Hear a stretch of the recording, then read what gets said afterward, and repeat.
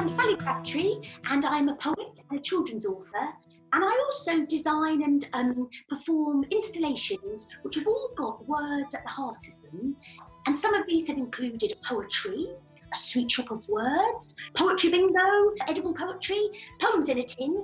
And the thing that I've been doing recently is the poetry postie who delivers poetic inspiration to the nation. Normally, the poetry postie engages with people, it's very, very, very sociable. But obviously, during lockdown, I wasn't allowed to see anybody. So I thought, how on earth can I carry on with all that I do? So I came up with the idea of doing a radio show called Poetry Postie FM.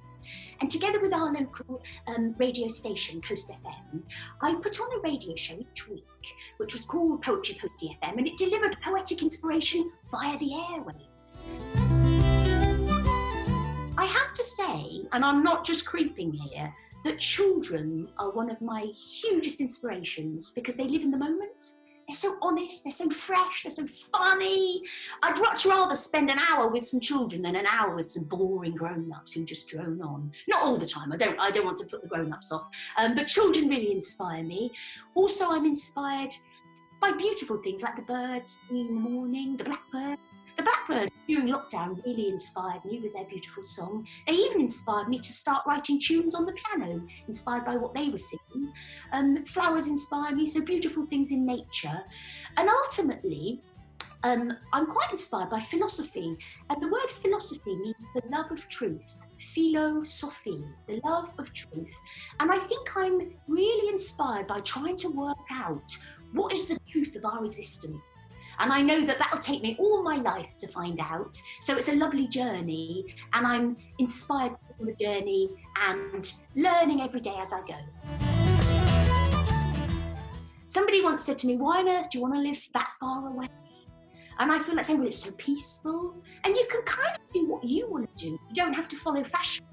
Um, so, in a funny sort of way, you're, you're a little bit freer. Um, and obviously, it's the beautiful nature and the fabulous people.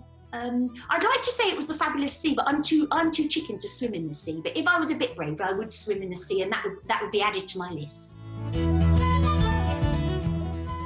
In the beginning, nothing was heard. All was silent, not a word, till the word bird sang and the world began. She sang the rivers, she sang the streams, she sang the sky and she sang your dreams. Oh, the word bird sang and the world began. She sang the sunlight, she sang the hours, she sang the rainbows and she sang the flowers. She sang the meadows, she sang the trees, she sang the hills and she sang the leaves. She sang horizons, she sang deep seas, she sang the shore and she sang the breeze. Oh, the word bird sang and the world began. She sang the evening, she sang the twilight, she sang the moonshine and she sang the night. She sang the wonder, she sang the stars, she sang delight in this world of ours. She sang the creatures and sang as a heart, that magical place where love's song means heart. Oh, the word bird sang and the world began. The world began when the word bird sang.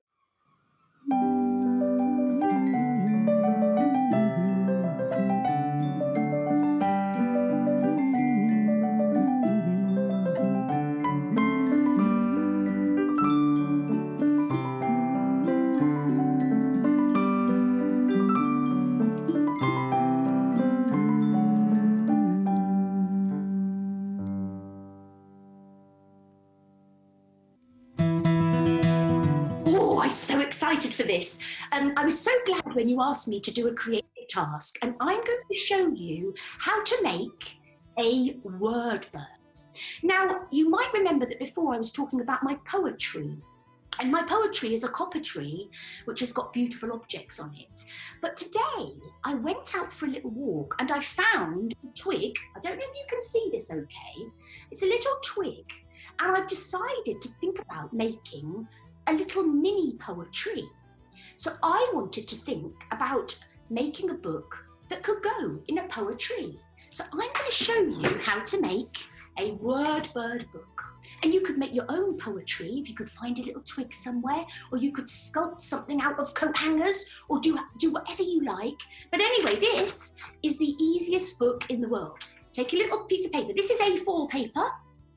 But you could use a bit of newspaper, any paper that you can find, as long as you don't steal it off your mum and dad. And you know, they're writing something very important. Don't use that because you might get in trouble, and I might get in trouble. So you get an A4 piece of paper, fold it in half, like this, and then fold it in half again. Now, I'm going to do mine very quickly, but you can take a lot longer with yours and you can add all sorts of things to make it glitzy. You will need a pair of scissors, and I'm just going to cut it out like this. And you'll see that I have cut out a shape of a very simple bird. Now, if it was on a table, you can see that it can wobble, okay? But what we'll do, just to make it um, secure, is you have to get a stapler. I've got one here that I'll use. Um, if you haven't got a stapler at home, in the olden days, they used to sew the pages of books together. So maybe you could sew your pages together. And if you haven't got any thread and you haven't got stapler, don't worry. It'll be lovely even if you don't sew it at all. Then you need to get a little pen or some paints or whatever you like to make the beak. You can cut it out of um, cardboard if you prefer. I'm going to do mine very, very quickly, but you can spend a nice time on yours to make it beautiful. So, we've got a little beak. So now the bird can sing, but it does need to be able to see how beautiful you are. So I'm going to get a little eye and I'm going to get my glue and let's see what I'm doing here. I'm going to glue the eye on.